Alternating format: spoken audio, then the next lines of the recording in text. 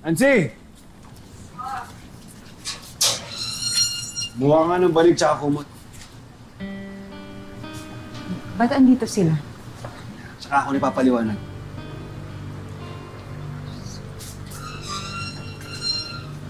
Sa sala muna kayo matutulog, ha? Kami?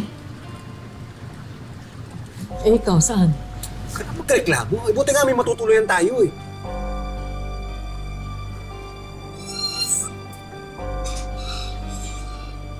Mama, sino po yung babae? Kamag-anak po ba ni Papa?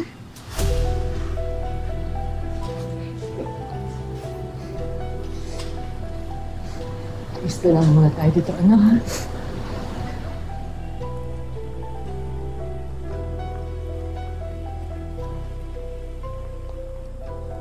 Hindi masabi ni Melba sa anak na ang babaeng kanilang nadatnan ay walang iba kundi ang kabit ni Arjan.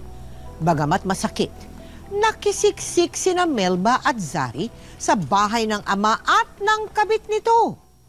Hanggang sa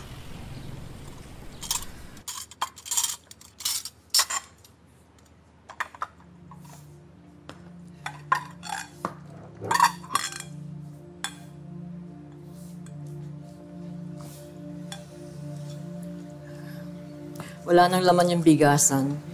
Kaya nagpabili na lang ako ng tinapay kay Sari. Nag-init na rin ako ng tubig para sa kape. Naku, bawal ako magkape. Kapapanganak ko pa lang. Ah, siya nga pala tulog pa si Arjan. Nagpamasahe sa akin kagabi. Yung sweet-sweet nga eh.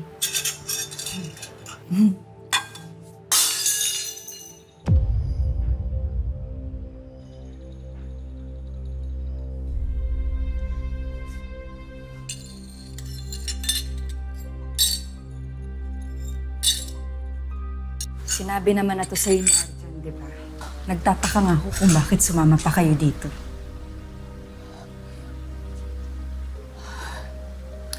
Eh, ikaw? Bakit nasikmura ni Arjun na iuwi kami dito kasama ka? Ako ang asawa. May anak na siya sa akin. Sa akin wala. Sinong legal na asawa ang gugustuhin may kabit ang asawa niya? Inanakan ka. Eh, ikaw may problema. Kayo dapat ang umalis dito. Oo. Malaki ang problema ko. Ikaw yan. Kung sa tingin mong kakampihan ka ni Arjan at iiwanan niya kami ng anak ko, nagkakamali ka. Tsaka kanino ba sumiping kagabi? Ha? Sa'yo ba? Ansi! Diyan na, mahal.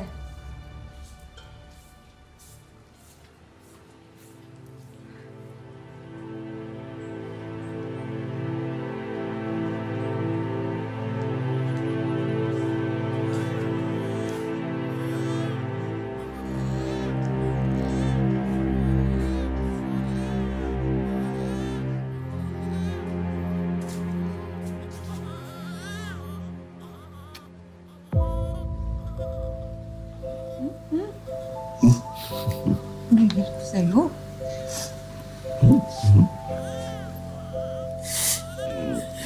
Pogi naman ang baby. Mm. Hmm? Mukha ako kaya.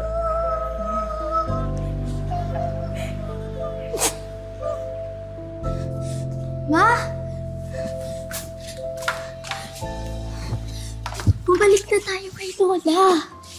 Bakit ganun? Asawa ni Papa, di ba? Bakit pumapayag ka sa sitwasyon natin? Ako? Di ko natatanggap na kapatid ko yung baby. Ako lang ang anak ni Papa. Hindi yung baby. Alis na tayo dito, ma. Naniniwala ako na tataukan din ng papa mo. Iiwanan niya rin yung babae niya.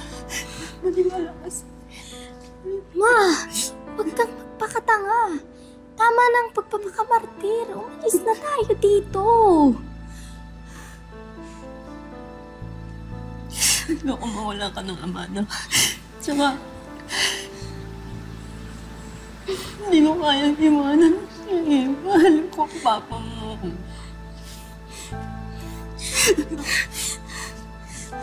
Sari! Sari!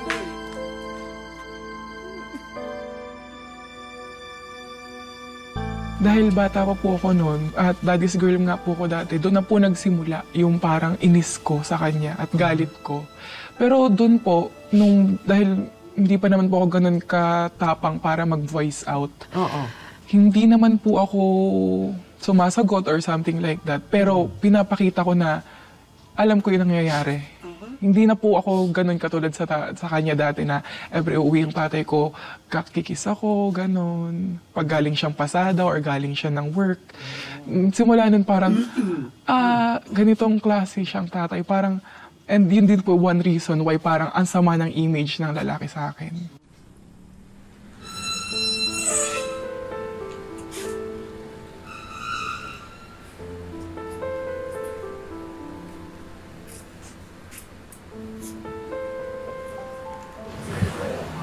Pa natutulog.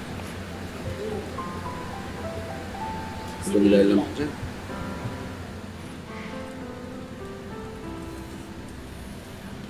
Inyo na muna ako tatabi. Sakit yung baby. Si Nancy na muna ang babantay doon magdamag.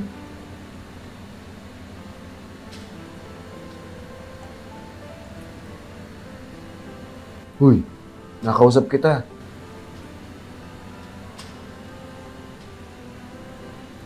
Galit sa akin si Sari. Lalo na sa akin. Gusto niya na umuwi sa lola niya. Na tayo babalik doon. Bakit ganun, Arjan? Kahit noon pa, ikaw laging inuuna ko sa lahat. Sa sarili ko, sa nanay ko, sa anak ko.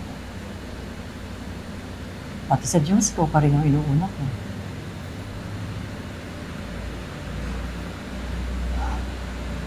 Ang sakit lang kasi, Pagdating sa'yo, ako naman ang huli palagi.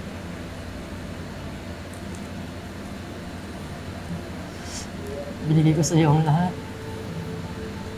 Wala akong tinira para sa sarili ko.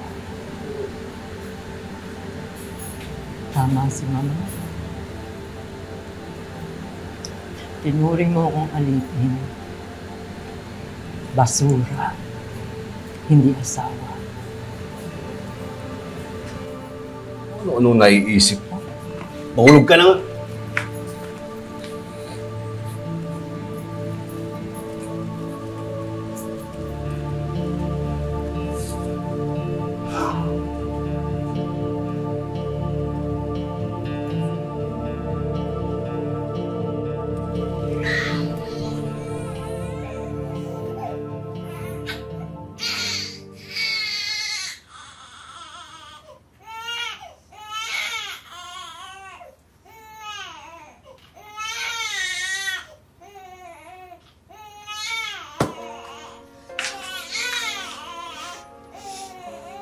Tumahan ka na nga.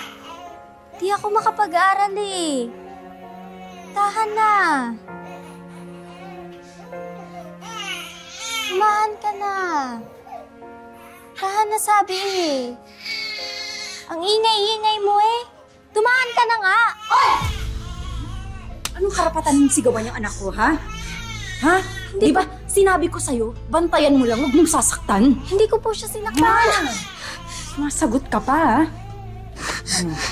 Sa susunod na makita kong sasaktan mo yung anak ko, ibibiting kita patiwar, eh. Demonita ka. Lumayas kayo dito ng nanay mo. Layas!